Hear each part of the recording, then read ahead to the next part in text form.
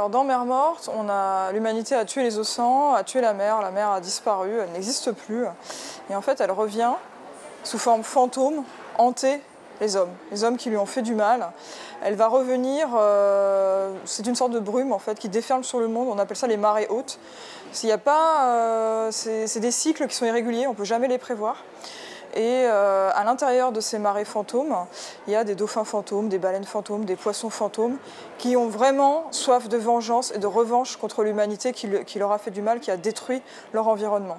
Donc ils viennent euh, manger les âmes euh, des humains. Dans le livre, le personnage principal qu'on va suivre, ça va être un exorciste en fait, qui s'appelle Oural.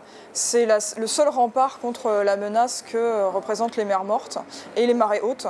Il est capable évidemment d'écarter euh, les poissons fantômes quand ils viennent euh, attaquer euh, les humains. Il est lui-même ami avec un dauphin fantôme et c'est une relation qu'il cache et qu'il garde extrêmement secrète parce que si jamais les gens apprennent que leur exorciste est une amie fantôme, ça, choquerait beaucoup les gens évidemment.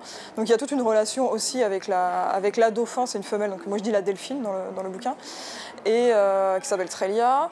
Et euh, cet exorciste en fait va être enlevé par euh, un équipage de pirates et le capitaine euh, des pirates qui s'appelle Bengal et lui a un projet, un projet fou qui va peu à peu révéler à Oural et ils vont être amenés à évoluer tous les deux, traverser les mers mortes et voyager sur ces, sur ces océans fantômes avec un bateau qui lui-même ne ressuscite qu'à marée haute. C'est vraiment une épave à marée basse et quand les mers mortes déferlent, le bateau reprend vie et euh, leur permet de naviguer sur les mers mortes. Le livre est vraiment euh, parle évidemment d'écologie et euh, des océans et parle aussi de la relation de ces deux hommes. De fortes convictions écologiques, je pense que c'est important d'en parler.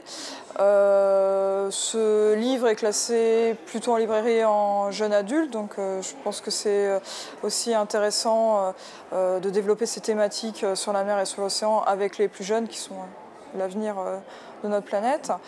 Et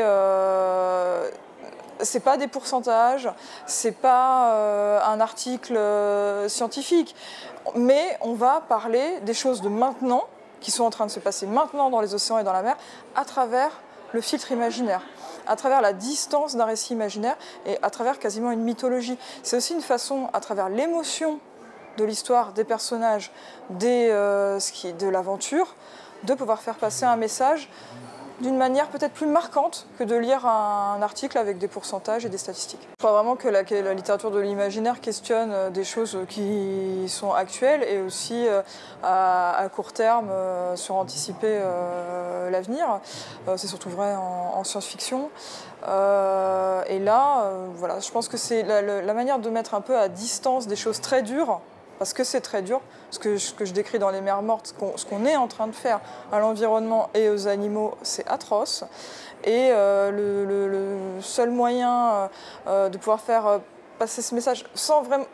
Le but, c'est pas de braquer les gens, voilà, c'est de les accompagner dans, cette, dans cette présentation de ce qui se passe. Et ça, je pense que justement, l'imaginaire permet cet accompagnement peut-être plus euh, doux que d'y aller en, force et en frontal.